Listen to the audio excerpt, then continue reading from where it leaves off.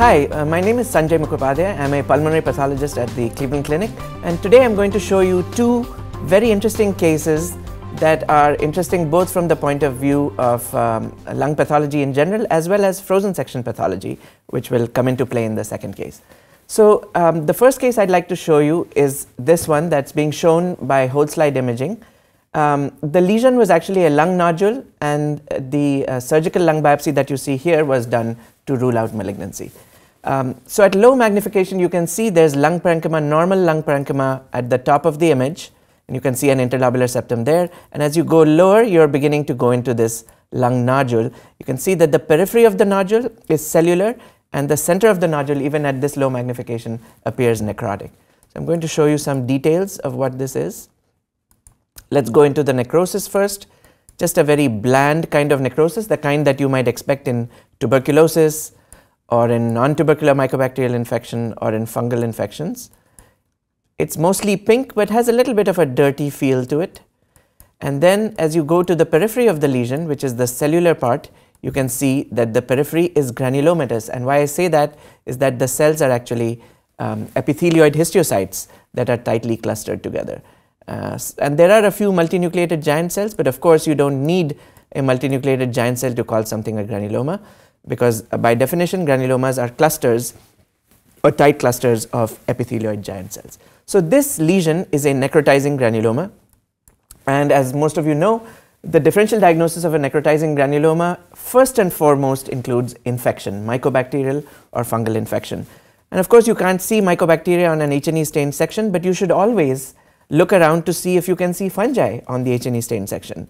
Um, and some of them you can. So, for example, out of the four most common fungi that you see in these necrotizing granulomas, which is histoplasma, cryptococcus, blastomyces, and coccidioides, the last three can all be seen on H&E stained sections. So, what you should do in case like this is go to the necrosis and just look on H&E. Can you see the fungus?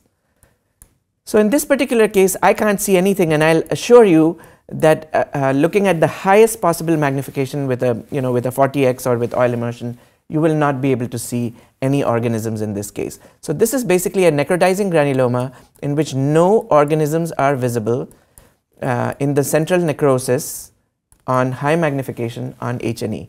So let me show you now the corresponding GMS stain. So here's the GMS stain and that's Grocott methenamine silver. It's a stain for fungal organisms. And you see this is the same section that I showed you before. And I'll show you this uh, spot next to the crack. And you can see I'm going to higher magnification within the necrotic area. And as you know on GMS black is the color that fungal organisms take. And you can see there are numerous numerous histoplasma organisms here within the necrosis.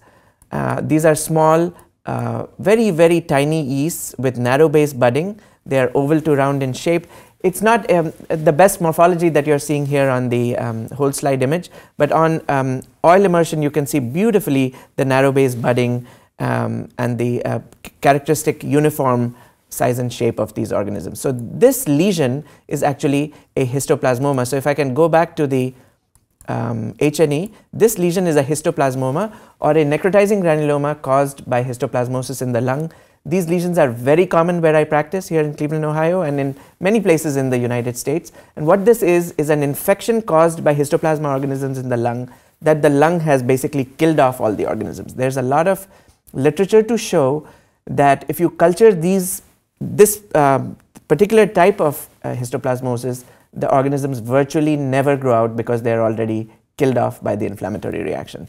Uh, these lesions can be PET positive, the nodules can be spiculated, they can grow, so they can mimic lung cancer on, um, on many different levels. So this is really a very good news for the patient. This is not only an infection, but this is an infection that is, is virtually cured already by the body and in most cases does not require treatment, especially if the patient is asymptomatic. This is basically a, a, very good piece of news for the patient, something that I love. One of the greatest things about non-neoplastic lung pathology is you have the chance to give the patient good news in, in some instances. Now we move to case number two and actually I'm going to show you the uh, permanent section of this but the, the diagnosis was actually uh, correctly made even on frozen section uh, pathology and this is also a lung nodule very similar to the other one and you can see that uh, the pleura is up here that little line on the top of the image. And then this is a subpleural nodule. So the base is on the pleura, but the nodule is within the lung. And you can see a blood vessel here to the left of it. One difference from the previous case is there's no necrosis here. But let's go to higher magnification. And you'll see that the thing actually does have lots of multinucleated giant cells and epithelioid histiocytes, especially multinucleated giant cells. So this lesion is actually granulomatous. It does have lots and lots of these large multinucleated giant cells and it also has a, a mix of fibrosis and chronic inflammation including lots of plasma cells. So it, there's a lot of chronic inflammation as well as multinucleated giant cells. But the thing here that gives away the diagnosis even on an H&E stain section is that you can actually see right on H&E and I'll show you here, you can see large multinucleated giant cells with organisms within them and this is in contrast to the previous case that I showed you where you couldn't see the organisms within the necrosis. And that's actually characteristic of uh, histoplasmomas. In Cryptococcus, which is what this is, you can actually see cryptococcal leaves right on the H&E. Now they can be sometimes difficult to see because the organism has a very light gray staining cell wall. But here let me put the arrow on one of the organisms. So that is a Cryptococcus yeast. It has a very light gray cell wall. It has a round or slightly oval shape and it has a space around it which is actually uh, in my opinion a, a retraction artifact um, uh, that is caused uh, by the cytoplasm of the surrounding cell pulling away from it. So you can see many different Cryptococcus here. Another characteristic feature of Cryptococcus is that there's a lot of size variation. If you remember from the previous case, histoplasma doesn't vary much in size, but Cryptococcus does. So for example, here's a really big yeast and here's a really small one Again, here's a really big yeast in that space, and then here's a really small one. So that pleomorphism or variation in size is really characteristic of Cryptococcus. So for me, this is Cryptococcus right on the H&E. I don't need a GMS stain. Um, I don't need I don't need cultures. I don't need anything else. But you know, if you wanted confirmation, one of the things that you can do in these cases is you can do a Mucicarmine stain, and the Mucicarmine stain, I'll caution you, is helpful only if it is positive.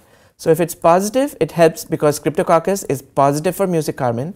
But as you can see in this image, not all the organisms are uniformly positive. There's only very weak staining here and some of the organisms are negative. But as you move from field to field, you will see some organisms that are clearly positive on the Mucicarmine, therefore helping to confirm the diagnosis. Now I will caution you, here's a, here's a very nice example of Mucicarmine positive organisms in this case. Now I will caution you that you will, as you see more, more cases of Cryptococcus in your career, you will definitely see cases of Cryptococcus that are negative by Mucicarmine and negative staining on Mucicarmine does not exclude the diagnosis. But certainly, as I've shown here, if you do have a positive Mucicarmine stain, that does help to confirm the diagnosis. And in this case, uh, the diagnosis was actually made on frozen section and that um, the, the surgeon's question actually was, is this benign or malignant? Um, the course of action being if it's malignant, we'll proceed to lobectomy, and if it's benign, we'll stop here. So um, it was good that the diagnosis was made at the time of frozen section, so a lobectomy was averted, and the patient had a good outcome. So two cases that I've shown you today here are two common forms of fungal infection that result in granulomatous inflammation in the lung, and I hope you enjoyed the case. Thank you very much.